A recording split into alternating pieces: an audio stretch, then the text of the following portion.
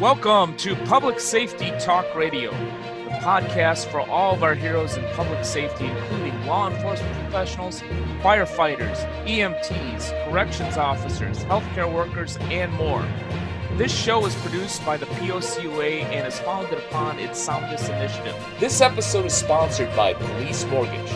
Police Mortgage is a full service mortgage company dedicated to serving police officers and first responders.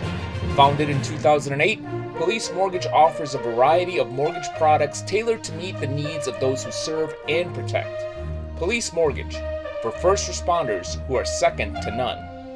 I am Ken Bader, your host for Public Safety Talk Radio, and I have a return guest. I know all of you that are listening or watching diligently watch and listen to every single show. So you'll remember this gentleman uh, from our third season. His name is Austin Glickman. He is the president of Leo Weekend or LEO Weekend or Law Enforcement Officer Weekend, whichever you want to call it.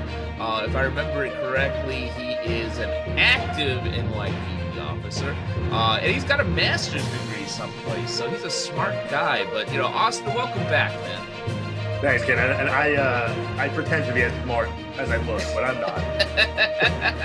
well, you know, you know, like I said before, I pressed record. You know, go to the same barber, even though even though we're on two different coasts.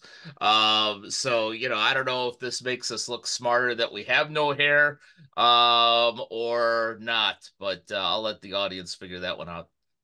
I don't think that we should make that a public poll. I don't want to know the answer. Yeah, yeah, it's better. It's better to be ignorant. You know, in, in yeah, life, many yeah. times, you know, like probably, you know, some of the people that you arrest, you know, it's probably just better to be ignorant. Um, anyhow, uh, while we can have a lot of fun with that, let's talk about what you're doing for your organization here in 2024. I know you've got an event coming up in just like a week or two uh, we want to hear about that. And then you've got a big cruise coming later in 2024. So tell us about those two things. We certainly do. We, we do about 20 events a year now. So, holy uh, crap. Yeah. 20 yeah, events a year. Time, yeah, since the last time we spoke, we we just continued to expand. Do you, um, do you, do you like still like work like as a police officer? Or do yeah, you just yeah, do twenty events? I'm, I'm no, I'm, I'm headed to work in, in about an hour from now. So um, it's you know I like to joke around and I tell people that I'm a full time nonprofit president and I'm a part time police officer. Even though I still work five days a week as a police officer, it's mm-hmm. it's constant. But I, I, get a lot of love and support uh, from my agency. Um, although we're not an official organization with the department, they obviously know what I do. A lot of the volunteers that I that I, uh, have under me are all also active uh, New York City police officers or from other nearby agencies, and they see all the great work that we're doing, so they don't usually give us a hard time. And they, you know, when we need a day off or if we need to make a phone call here or there, as long as it's not interrupting, obviously, patrol or or you know some you know emergency duties, typically everyone works cohesively. Sure, so. I was going to do this drug bust, but hold on a second. Yeah, I'm, I'm negotiating yeah. with the Hyatt. Yeah, yeah, right, exactly, exactly. So obviously there are times where we have to you know reschedule meetings because of things that happen, especially here in New York, as I'm sure you're aware. There's always something going on. Um, we are it's the like Mecca. Los, it's like Los Angeles where I live. There's there's no crime yeah. in LA or New no, York. No, no. Yeah, there's nothing no going crime. on. Yeah. There's just always something going on that's not planned for. And listen, we just have to roll with it, right? So yeah. that's when you work in this line of work, obviously all your listeners know it's just the way of our world, our way of our lifestyles, and you just kind of go with it. So um, all right, so let's jump into it. So um for the, for those of you who know who we are, or maybe you've seen my face on TikTok or Instagram, uh, Law Enforcement Officers Weekend is a 501c3 nonprofit organization. And essentially, what we do is we work with the families of officers that were either seriously injured or killed in the line of duty, and we bring them on uh, all expenses paid vacations. That's our main goal.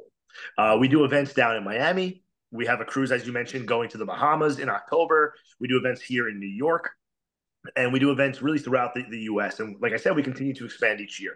What makes us different, though, from so many other other mm-hmm. uh, unbelievable organizations is that these events are not exclusive to just those families. Uh, and what I mean by that is that you, as a supporter of law enforcement or an active member or a retired member of law enforcement, can come to these events with us and support the families of these fallen or injured officers. Obviously, you're going to pay your own way, but it's at a significantly discounted rate because we have such a large group that typically go to these events. So aside from these weekend getaways, we also do a lot of events with professional sporting teams. We work very closely, being that we're a New York-based organization. The Yankees, the Mets, the Rangers, and the Islanders. We work with them wholeheartedly all the time. They're unbelievable organizations who truly support law enforcement. Uh, we bring the families of officers, again, who were seriously injured or killed in the line of duty to those events. They will typically throw out the first pitch, or we'll get them on the field with some players. We get them, you know, hats and just sign memorabilia. And then again, we have another, say, 500 people that show up to the event uh, at discounted rates, and they also get to experience part of these fan experiences. And it's a really great time. Um, so it's it's uh, what what we say. Is one of our mottos is uh, bringing your blood and blue families together, where nice. we will we take uh, all these other officers, retired officers, and we surround these families that are going through something that hopefully none of us have to ever experience in our lifetime. But mm-hmm. unfortunately, as we all know as first responders, we, we will be affected in some way, shape, or form by one of our, our coworkers getting seriously injured or killed. Yeah. So we kind of know what they're going through, um, and we just surround them with as much love and support and appreciation as possible. And we've been doing it since 2017. We by the end of this year, we'll have hosted close to 90 families to different events. Nice. Um, hundreds of thousands of uh, followers on, on social media, tens of thousands of, of, of, attendees that come to these events every single year. And uh, yeah, it's a great organization, and I'm, I'm just I'm super uh, proud and, and honored to, uh, to to to lead it. Um, and a shout out to all the volunteers and the rest of our board of directors who do it because nobody receives a paycheck, myself included. This is 100% volunteer. Uh, we even pay our own way to go to these events. Like sure. our own board members are are shilling out money out of their own pocket uh, to work the event that they're they're they're going to, and they pay their own way. So it's yeah, very commendable for everyone who's involved. Now, when you go on this cruise, do you get the one with the balcony, or you just get the inside cabin where you can't? No, no, no. Shit? So, no. So LEO weekend, we go all out, right? We we start from this from the what is the stratosphere, whatever the highest level is. I'm mm. not obviously I'm a police officer for a reason. I don't really know science too well, but we start from the top and we ask for as much as possible, and then we we go lower and lower as needed. So as the cruise, for an example, we 100% hook up these families with the suite, and we hook mm-hmm. them up with the balcony rooms overlooking you know the ocean. So we never you know give them the minimum. We always give them the maximum. Mm-hmm. Um, and it, it's really thanks in part from all the amazing donors and sponsors that we have. Uh, our average budget, and we're a 501c3 nonprofit, so this mm-hmm. is very um, publicly known. Yeah, uh, we have to. We, yeah, yeah, we have to be transparent. We have to let everyone know how much money we bring in each year, how much money we spend each year. We we spend roughly two hundred thousand dollars a year, if not more, uh, to put on these events. These events are very expensive. Mm-hmm. You know, mm-hmm. imagine having to pay for hotels and flights and and and put down down payments on uh, 500 tickets to a Yankee game. You know, that's mm-hmm. a lot of money, right? And that's just one event. Yeah. So imagine doing 20 of them. Um, so we do a ton of fundraising and a ton of uh, uh, events and activities. Um, when we do these these smaller events, like the one that's coming up June 2nd, which I'll talk about now, um, that that is it's the first ever event that we've done like this. It's an equestrian event. Um, I am naive. I didn't really know what that meant up until just a few weeks ago when my uh, some of my members brought this to my attention. Mm-hmm. So essentially, what it is, it's at Pal-O-Mine in Islandia, New York. So it's out in Suffolk County. For any of your listeners that are here in the New York metropolitan area, they'll probably know where that is. Mm-hmm. Um, but for, for me, for me, who's like three thousand miles away, where the hell is it? so it's out. It's, it's, it's out. Are you looking for a podcast to answer some financial questions? Well, then check out the Mortgage Beat podcast, brought to you by Police Mortgage for first responders who are second to none. Mortgage Beat gives insight into the home loan process specifically for police officers, firefighters, and other public safety professionals. Podcast is hosted by Police Mortgage CEO John Aritos, who has decades of experience in the mortgage industry. Check out Mortgage Beat on Spotify today.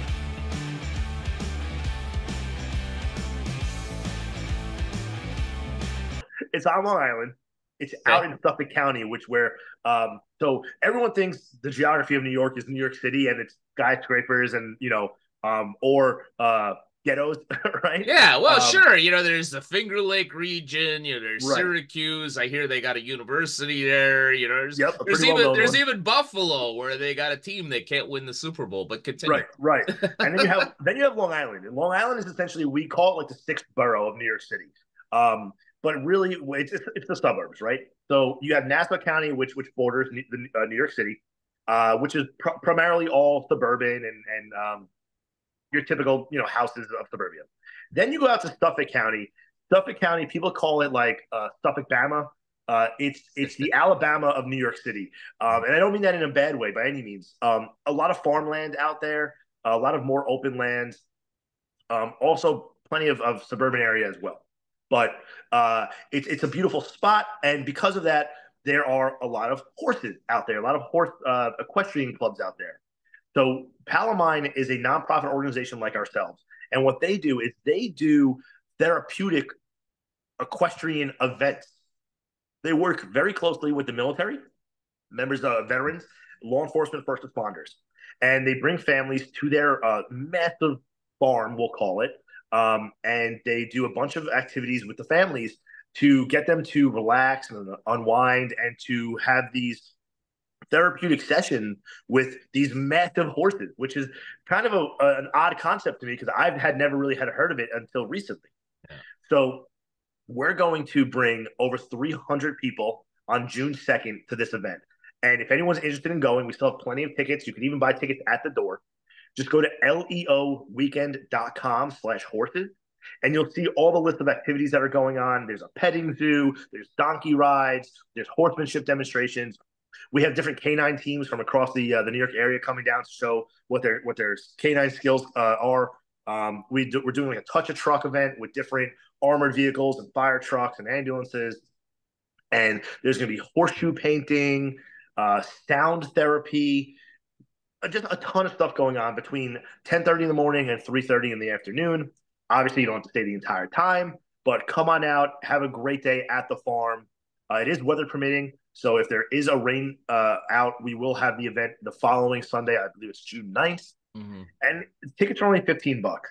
Yeah. And kids five and under are free. This is not meant to be like a massive money maker for us. This is just a way for us to give back and to uh, allow these first responder families. It's not just law enforcement. I just want to make that perfectly clear. If you are any type of first responder family or military, um, you are welcomed, and we encourage you to come without, come to, with your family, come with your friends, and just have a really nice day on the farm. It's going to be a lot of fun. And again, it's our first time ever doing this, but um, we've already ha- had a, a significant uh, amount of tickets sold. So we think nice. it's going to be a, it's going to be a great event you know you're you're very New York centric as you mentioned. Although you know you mentioned I think the the Yankees, the Islanders, the Rangers. You didn't mention the Knicks probably because they can't beat the Pacers. But um, we don't want to talk about that. but you know, uh, looking you know past 2024 what are you because it's such a great concept you know in yeah. getting people together and getting people you know there's so many people you know despite what the news says and you know some of the feelings out there in certain areas you know there are people like myself that have never been a first responder but you know are, are more than happy to support police officers where you know you look and say you know hey you know i want to take a cruise to the bahamas. Why not do this and you know have a good vacation and you know support a good cause at the same time? So it makes a lot of sense what uh what are you doing to you know possibly grow beyond new york? You know maybe you know the lapd or the uh new orleans pd or or so on and so forth. What are you doing to maybe go after some of those sports teams? And you know maybe maybe we want to take a mississippi cruise or something you know? What, what are we doing beyond new york in 2025 yeah. All right. So i got a lot to say about this Awesome, uh, cool. We, yeah, we got so we got well we, we got plenty of time. Plenty so of time. so first and foremost, just so everyone's clear, although we are based in New York and many of our volunteers are obviously New York law enforcement, we are a national nonprofit organization. And what I mean by that is that when we bring these families to these events, uh, most of the time, 95% of the time, they're not from New York. They're from across mm-hmm. the country. Nice. Uh, a lot of the attendees that we get are not even from New York again, obviously, if they're coming to a Yankee or a Mets game, they're going to be from the New York metropolitan right. area. Logistically, it's just easy for them to get to. But as the cruise, as an example, we have law enforcement officers from literally across the country, uh, even as far as England, that have come to our event. Wow. So yeah. don't think that because you're not a New York police officer means that you can't come. No, that's completely not the case. Um, the events are open to everybody. So if you're interested in coming to one of our events, whether it be a, a Yankee game as an example or the cruise, um, doesn't matter what department you work for or who you work for, or just again, you don't even have to even be a law enforcement officer. You could be a first responder, you can be military, you can be just a general supporter of, of law enforcement. You're more than welcome to come. We and again highly encourage it. So what now what I'm about to say next has not been made public yet until right now. Awesome. The, you heard it first on Public Safety Talk Radio. You're hearing it first on Public Safety Talk Radio. I just got off the phone about an hour ago with the Miami Dolphins. Nice. And as of Wednesday, when we officially sign the contract, we will be hosting a Miami Dolphins versus New York Jets because we still got to keep the New York in there in Miami on December 8th. Nice. Tickets will go on sale very shortly. It's going to be a law enforcement appreciation game. It's a one o'clock game. We're going to be working directly with the Fraternal Order of Police down there in the South Florida area, as well as the PBAs. Very weird down in Florida. Some have FOPs, some have PBAs, some have a mix of both. I don't understand the politics down there. All I know is that they both exist. So we'll be working with both those organizations Good. from the departments across the uh, the South Florida area, and uh, we're going to be doing most likely like a two and a half hour tailgate pregame. We're going to be doing an on field photo after the game is over, t-shirts, uh, and and and tickets in the 300 level uh, in one of the end zones. So tickets won't be on sale just yet. But what I highly recommend people doing because we expect the tickets to sell out insanely quick. Um, just follow us on social media. So follow Law Enforcement Officers Weekend on Facebook. Follow us on Instagram uh, at LEO underscore weekend. Or if you want, you can follow me personally on either Instagram or TikTok on uh, at Officer Glick, all one word, Officer Glick, G L I C K. And you will, if you follow one of those four or all four, you will 100% uh, get notified when those tickets go on sale. Nice. So, so we have that event coming up. So that's outside, obviously, of the New York area. We have our Bahamas cruise, which just so happens to also be out of Miami this year. Um, I th- and those we're pretty much sold out of that. So, um, but if you're interested in going in 2025, uh, it's going to be, be, I believe, October 10th to the 13th, 2025, out of Port Miami on Wonder of the Seas, which is Royal Caribbean's one of their largest ships. Mm-hmm. Uh, the Icon of the Seas just got released. So I think they, they just took the, uh, the title for largest cruise ship like in the world.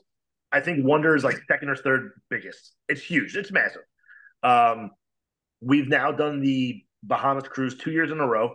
Uh, obviously, 2025 will be our third year, and it is a wonderful experience. Um, we typically bring about five families of injured, uh, excuse me, of fallen officers mm-hmm. to the uh, to the event. Again, from the minute they get in the Uber at their home to the minute that they get back home, we pay for everything, and that includes their open drink packages. It includes all their food, their hotel, their flights, everything you would think of. We pay for. Um, we have about 250 people going on the cruise this year with us. So last year, the first year we had 130. This year we have 250. Next year, I can't even imagine how many we're going to have. Yeah. Because people, you know, tell their friends how much fun they had, and then they, they end up coming next year, and the word just spreads like wildfire. And uh, we will 100% be the largest group on the boat. Uh, the boat holds around about 5,000 people or so. We'll have 250. Doesn't sound that large, but for a group, that's actually quite quite a large size. Yeah. Um, everybody gets a T-shirt. Everybody gets a wristband. Um, so when we're walking around, you'll know, hey, I, I, know that wristband. That you're you're one of us, and it's just a way to, to start conversations, and it's also a way to feel comfortable around uh, certain people. And that way, you don't have to lie to somebody and say you work in sanitation. Yeah, you could tell them, yes, I am a police officer. I see that you're a police officer, or the family of a law enforcement, or something along those lines. And uh, yeah, it's it's a really great um, way to to meet new people. We've had families from previous events who've met each other from across the country. And mm-hmm. believe it or not, now they even fly out and spend Thanksgiving with one another. Wow. They they create these bonds that most other professions, firefighters are probably pretty close. EMS and military are probably a close third. But man, law enforcement, it's just something about law enforcement that nobody truly understands what we go through unless you're another law enforcement family. Yeah. Um, so connecting with somebody or, or another family on the same level uh, is something special. And a lot of our attendees come from really small departments. So, mm-hmm. like, you know, it's hard for me to even understand because I'm coming from the NYPD, the largest department in the world, right? Yeah. Where there's 35,000 of us, and it, you know, you could throw a rock in any direction in New York, and you know, it'll land next to a New York City police officer. So what I do know, though, because we like obviously with the NYPD, we like to gloat about who we are.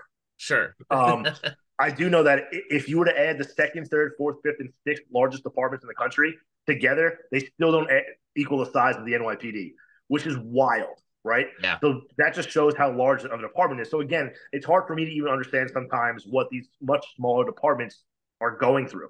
Mm-hmm. So when you have a, a, family coming from, you know, somewhere in Middle America, you know, Indiana or Missouri or Mississippi, and they may only have ten other coworkers or five other coworkers, right? So they don't fully understand uh, the camaraderie, the brotherhood, the sisterhood that we have in law enforcement.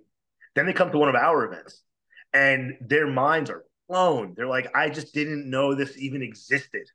I didn't know that that there was this amount of of love and support for for you know between fellow families of, of law enforcement. So that's one of the things I think really sets our organization apart from others. Listen, there are plenty of other organizations out there that do really, really amazing work that mm-hmm. also offer these weekend getaways. We'll, we'll use cops as an example, and we're, we're we love cops. I, I just went to their gala in Washington D.C. this past week during during Police Week. And uh, first and foremost, if anyone from Cops is watching, bravo! That was a beautiful, beautiful conference. Uh, excuse mm-hmm. not conference, uh, gala. Um, and they, it was it was it was it a gala or a gala? Well, I don't know how you want to pronounce it. Here in New York, we say gala. gala. um, but I mean, they just do such great work, and we got to see a lot of these families who who, who uh, cops supports, and they just do work that a lot of it goes on behind the scenes. Mm-hmm. So we don't typically see it. I obviously know of it because of you know just being in the nonprofit world and you know working with them uh, again behind the scenes. But a lot of people don't see what they do, and they're these people are like miracle workers. So shout out to Cop. Mm-hmm. Um, but so again, just using them as an example, they uh, they offer some weekend getaways too, uh, but they're private, right? They're only open to the families or the children, like the, the kids camp that they do every year. Um, they have the the uh, spouse retreat, or they also mm-hmm. have the coworker retreat. But again, they're they're, they're smaller and they're private. Um, our event, as I explained earlier, is fully open to anybody to attend, the families plus everybody else. Mm-hmm. So it mm-hmm. really creates that really interesting dynamic uh, between the families, between the rest of our attendees, and it just jives. It worked. I don't know why. I don't know how. And listen, every year is different, right? Mm-hmm. Some years we have um, you know family dynamics that that maybe they're an older family or sometimes they're a younger family and you know i can't promise that every single event is going to be you know mind blowing but for the most part we we, we get these families that uh, have such great time that they come year after year afterwards yeah. and they pay their own way after that they, they say we just we want to be part of this and we want to meet new families and we want to just help them as much as we can and um, I think so. Last year we had, like I said, five families on the cruise three out of the five are returning this year. And I think that that that goes to show how how you know how much fun and yeah. and, and, and you know love that they got during the the event that they want to come back again. Yeah, that you got something special there. Yeah. Um, as we begin to wrap up a little bit, um, tell us a little bit about the experience. And I know every event is different, uh, but do you have uh, any types of programs within the event? Like you're on the cruise and say, "Hey, we're all getting together for yeah. this seminar. We're all getting together to to you know throw balls at Austin and drop them into the pool or whatever whatever the heck it is." Do you do you have some structure to these events yes. for for the specific folks that are coming from you know for uh, LEO weekend? Yeah, great question. So, um, what we like to say is that we do offer a structure. However, uh, if if you don't want to do any of what we're offering, this is your vacation, right? So you can turn this vacation into whatever you deem fit. And what I mean by that is, we'll use the cruise as an, example. we create an itinerary and we say, hey guys, this is the itinerary. This is where the boat is stopping on these certain days. This is where we're going to be. This is where most of the board members from LEO Weekend are volunteers. Uh, and then we've done this now for a few years in a row. And I'm also an avid cruiser. Um, we know what works best on a lot of these boats, and like the best bars, the, the the best things to do once you're off the boat. And we'll we'll give that on this itinerary. We'll it's both an electronic itinerary and a hard itinerary. Mm-hmm. So we'll say, hey, uh, there's going to be karaoke tomorrow night at this bar on the boat. We're going to be there. If you want to come join us, please come join us. We also always have we always have an opening ceremony where we honor the families. That might be the only sad part of, of our events. Mm-hmm. What also makes us very different is that we don't require any speeches from the families. We don't require them to wear suits or ties or dresses. Mm-hmm. We want them in flip flops and a bathing suit and, and throw a t-shirt on and come in, you know, come into the, the bar that we're going to meet at. And we're going to do a little opening ceremony. We're going to recognize that you're on the boat and we're not going to mourn the loss of your loved one because mm-hmm. you've, you've been doing that 364 days out of the year. Right. Instead, we're going to celebrate their lives. Yeah.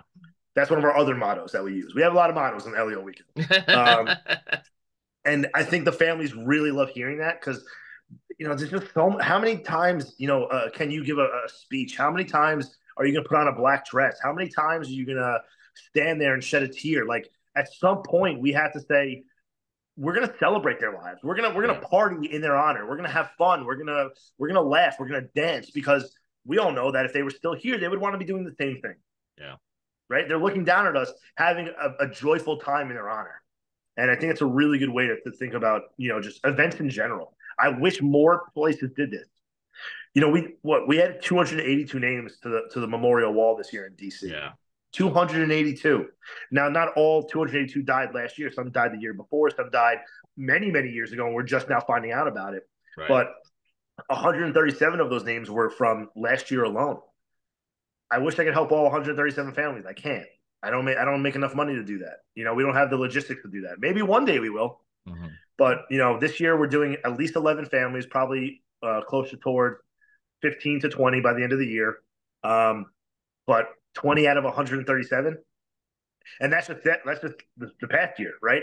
You know, we're talking the past, you know, we've been in operation now for eight years. How many have we lost over eight years? Oh, well yeah. over a thousand, you know? How many can I help? So I wish there was more organizations out there. People say, oh, well, it's great not having a lot of competition. First off, I don't call it competition. I call it partners, you know, and mm. potential you know friends who because we're all working for the same cause or at least we should be um i wish there were more organizations out there that that that do what we do yeah uh in layman's terms because uh, more families would be able to get help you know I, I love what you're doing you know there there's some uniqueness to it and most importantly there's there's a lot of heart in in what's going on here for for those folks out there that want to participate and or support LEO weekend, whether it's to go to Pal-O-Mine here on June 2nd, I believe you, yep. you mentioned on June 2nd. That's coming up, you know, very, very quickly, or the uh, cruise to the Bahamas later, or the the Dolphins Jet Jets game, two teams I couldn't care less about. Um, I'm a Bears fan, so I'm long suffering. Um,